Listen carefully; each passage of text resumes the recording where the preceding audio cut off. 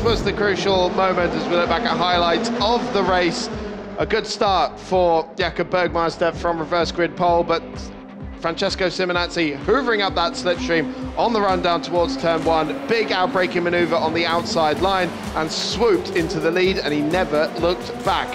As uh, made his way up into third place pretty quickly and Enzo Trulli followed him through as well. Cian Shields drops back uh, quite quickly in the early stages of the race as Charlie Wurz looked to make his way past uh, as well.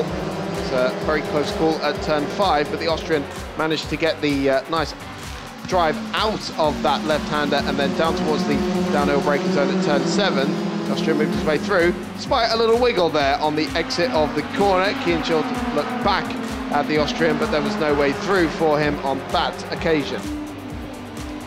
Saw a good fight brewing. Enzo Trulli tried to make a move on Noel Leon down into turn one. The slightest bit of contact between their tyres was made, and Noel Leon had to take to the escape road. And uh, in the end, it was uh, Trulli and Wurz who ended up squabbling for that fourth place spot, as Francesco Simonazzi built a very nice lead indeed.